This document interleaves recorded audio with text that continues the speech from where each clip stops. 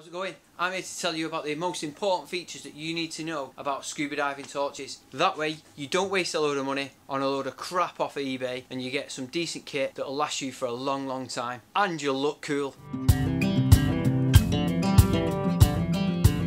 Hi, I'm Andy Northern Diver and welcome to another video in the series of scuba diving tutorials. If this is your first time here, make sure you hit the subscribe button. That way you'll not miss out on any of the videos we've posted in the past and you can see any of the other playlists that we've got. At the side of that then you'll see there's a little bell icon. If you press that, you'll get a notification every time we post a new video so you don't miss out. But if you've not got a YouTube account, what are you going to do? You're going to click this link up here and this will show you on a little video how you go about setting it up if you don't know how to.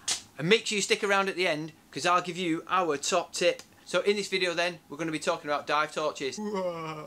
So for the kind of diving that I do, I carry three torches at all time. That way, we, if we lose any, we, we've always got a backup and a backup of a backup. We start off, I've got the biggest and most powerful torch that I could afford to buy. Commonly referred to as a canister torch because it comes in a canister, or an umbilical torch because it's got an umbilical cord to it, and then a torch head separately on what's known as a Goodman's handle. You've got something to grab hold of like a rope or a shot line or a tool for instance to cut your mate free because he's got tangled in some fishing nets or whatever you can still use both hands to one to wrestle him out and the other one to cut. So Goodman handle torch head umbilical cord canister. The way you turn them on and off then is an on off switch at the top. So the burn time on them up to about eight hours because of the size of the battery. So they're ideal for really long expedition diving or for a weekend's worth of diving you can have that on all the time. We use them as soon as you get into the water now because we use them to signal. A lot of the dive sites that we dive certainly inland stuff the visibility is always crap. You can't really see your hands especially if you've got a black glove on. If we use light to signal that we're okay and we're quite a bit of a distance away from each other we can see that and everyone's happy. So what we're going to do if that battery dies well we're going to carry a backup aren't we?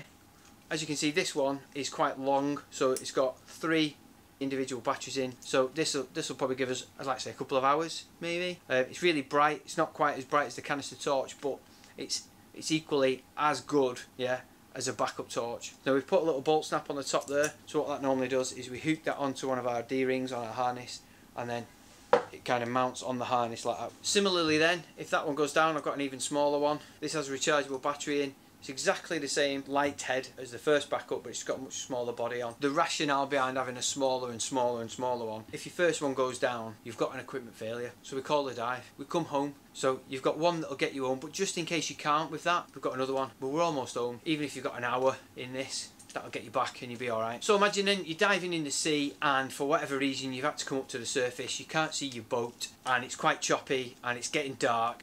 You could have a strobe.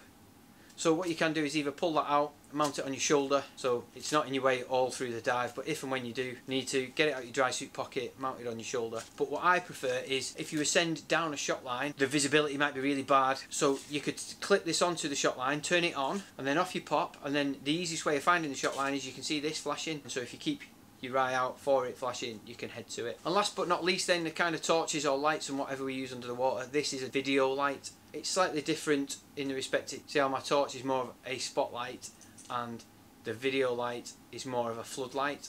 Ah, that really hurts. Additional points we've got with this is you can flick through different colours, so you've got red, you've got violet, and the idea with them is if the red one, red light's not seen at depth, so it doesn't frighten away any fish because they can't see it. The ultraviolet ones for like corals and stuff that are fluorescent in their very nature. So you put that on, it highlights it up in photography. So you want a video light for video in, torch for normal torch use, and you want backups of all of them. So my top tip then for these would be one of two things. Carry spare batteries. Try and get rechargeable ones. That way you're not throwing stuff in the, in the tip all the time. And carry O-ring grease. A lot of the bodies are made of aluminium and over time a little bit of sand or debris on there can make it quite hard to open. So if you just every now and again just lubricate the O-rings with a bit of silicone grease and the threads which makes them much easier to operate and less likely to fail. So let me know in the comments below then if you do anything different, if you've got any different kinds of lights or ideas that I might be able to learn from, that'd be really good. I'll sure enough answer you and give you a thumbs up on that. And make sure you watch the rest of this series then so you can catch up on all the other videos that we've posted. A link to that is above. Thanks for watching, see you on the next one. See you on Insta.